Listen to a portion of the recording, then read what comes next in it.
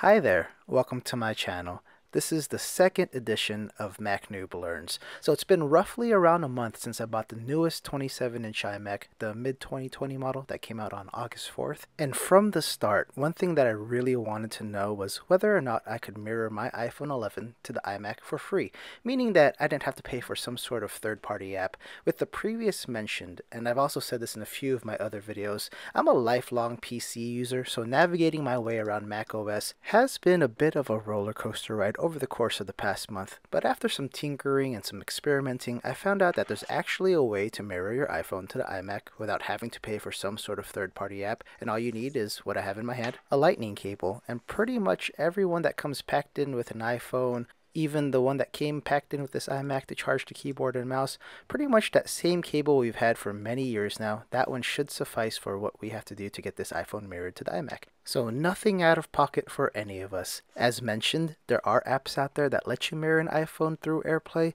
but I've come to learn that most of them cost money. So if you're watching this and know of a reliable and free app, please let me know in the comments below. I'll greatly appreciate it. But for the method that I'm going to show everybody today, all you need is the mentioned lightning cable and to open up your QuickTime app on your Mac. And I believe this also applies to MacBooks as well too. So first pro and con though, this is free, so that's a pro, but you're tethered to the computer with the cable, and that's probably the only con to this method. With that said, obviously the first thing we want to do is get that cable plugged into the back of the iMac.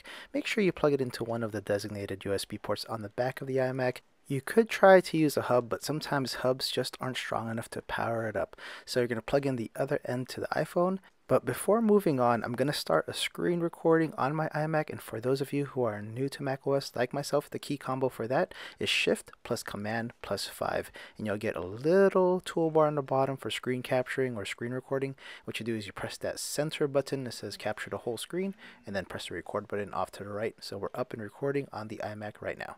So after we get the phone plugged in, all we do is launch QuickTime, and then the file picker menu pops up, and then we head over to the menu bar and then go to File, followed by New Movie Recording. By default, it's set to the camera on the iMac, but that's an easy fix. All you have to do is just click the little drop down arrow next to the record button and change the camera to your iPhone device, and it'll mirror your phone's display right then and there. But you got to make sure that your phone's unlocked when you do it, or else it'll just be a black screen just like this. So my phone's unlocked, and everything's up and running, and everything everything's being mirrored to the iMac 27 inch. And it's really that simple. So if you want to show off a slideshow or show some memes on your 27 inch iMac for everyone in the room to see, this option is available for everybody. And another really helpful tool that this method also provides is that since it's technically a movie recording or a screen recording, you can press that record button anytime and record at any given moment. So this is great for those who want to show off their mobile games or anything else your tech heart desires to record. If you want to show off a piano with no sound because I forgot to unmute my computer, that's an option as well too, but I'm kind of dumb and should have unmuted. But let's try a game if you guys want to see Pokemon Go. Does anybody still play Pokemon Go? I'm like on again, off again with this game. Uh, whenever a new little event happens, I tend to log in. But for some reason at home nowadays or lately, it's been taking forever to load up. It actually went past halfway on the loading bar. That's really surprising. I kind of cut that off prematurely because I thought it was just going to get stuck at like 50%.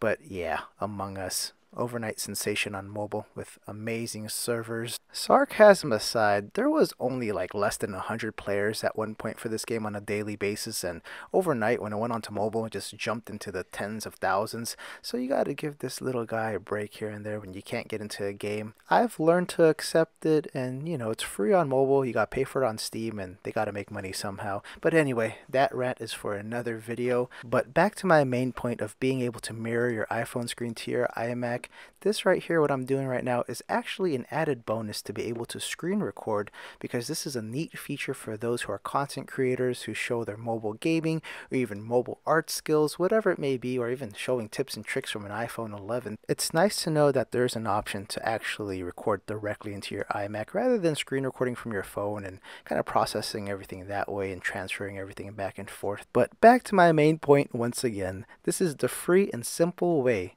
to screen mirror your iPhone to your Mac device.